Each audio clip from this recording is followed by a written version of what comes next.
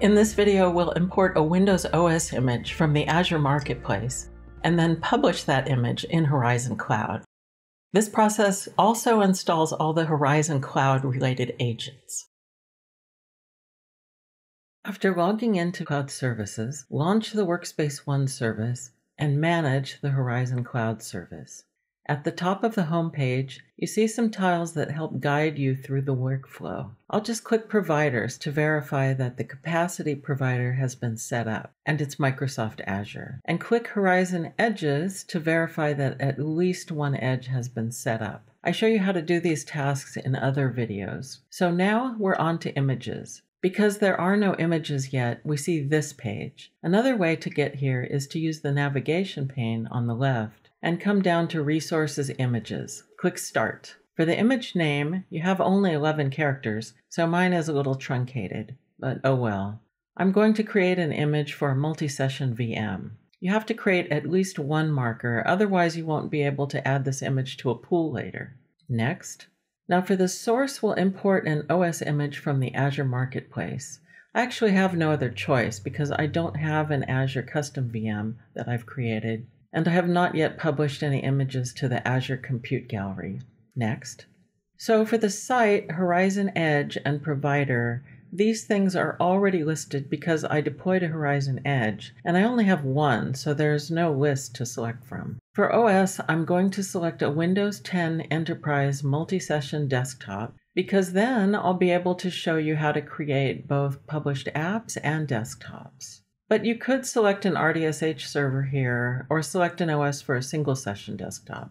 For Azure VM generation type, we'll go with V2 since it's newer and presumably better. We'll do without a GPU for this demo. If you want to use a model with a GPU, you will have to install the GPU drivers on the image after it's created, as described in the Microsoft article, Install NVIDIA GPU drivers on N-Series VMs running Windows. For VM model, there are so many models. I'm just going to use the default. Keep in mind that your Azure subscription needs to have enough CPU cores quota to accommodate the model you choose. This list is based on the model type and generation type I chose. We need to enable an external IP address so that after this image is imported, I can RDP into it and install any additional apps or drivers or make configuration changes. For the network, I only have one network configured from when I deployed the Horizon Edge. Here's where you enter a name and create a password for the local administrator on the machine. Don't use the name administrator though, because Azure doesn't like that.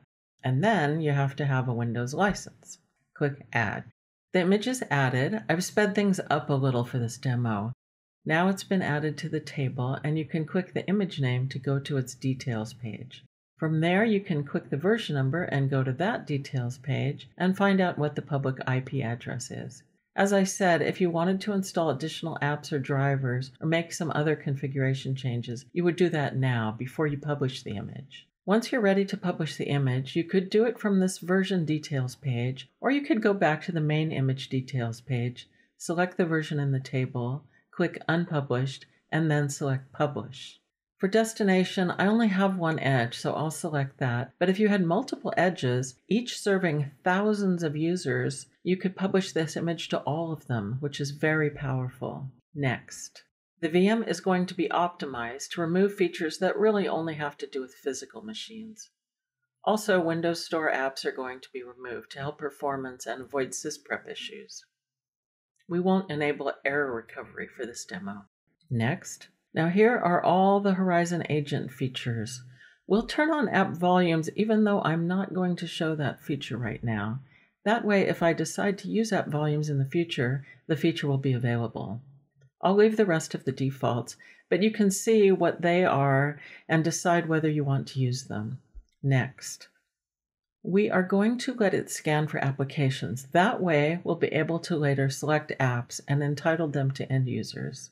This is only for multi-session images, and we will validate the image automatically after publication. We could do it separately later, but might as well do it now.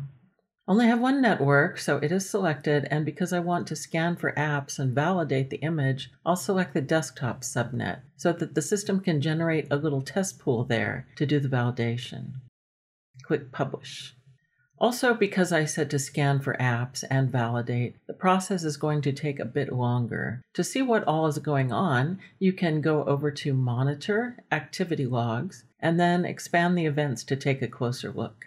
Here you can see that it's adding the image, publishing, scanning the apps, and here you can see it's validating, RDPing in there, and installing the agent. We can occasionally refresh the page. And finally, success. Okay, we'll go back over to the images and it says it's published. Click the version to go to that details page and it also shows published. You could use that button to unpublish it if you ever wanted to. Publication is now complete, and we're ready to create a pool from this published image. For more Horizon Cloud technical resources, be sure to visit techzone.omnissa.com.